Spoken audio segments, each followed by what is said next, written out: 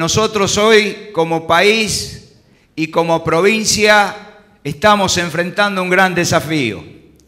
Y en ese gran desafío tenemos que tomar decisiones políticas y decisiones institucionales. Tucumán ha sido una de las primeras provincias que ha entendido el mensaje de la sociedad. Tucumán ha sido una de las primeras provincias que ha tenido una lectura clara, política e institucional de lo que hoy pasa en la Argentina. Por eso el gobierno de la provincia de Tucumán ha tomado un camino del diálogo con el gobierno nacional. Y ese camino, señor ministro, lo vamos a mantener mientras dure nuestra gestión nacional y provincial. Vamos a acompañar al gobierno nacional con nuestros diputados, con nuestros senadores y fundamentalmente vamos a trabajar para que al gobierno nacional, al presidente Milei le vaya bien, para que le vaya bien a todos los argentinos.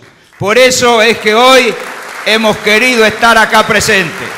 Por eso hoy, mirándola a la cara y a los ojos, tenemos que trabajar juntos, unidos. El gobernador Jaldo ha sido uno de los primeros que interpretó el momento histórico que vivía la Argentina, depuso cualquier diferencia política para ponerse a trabajar junto al gobierno nacional en tratar de avanzar por sobre la crisis y por encima de cualquier confrontación política partidaria. Eso la verdad que no es un gesto común en la política argentina, solamente es para aquellos líderes que son capaces de comprender el momento histórico que vive el país.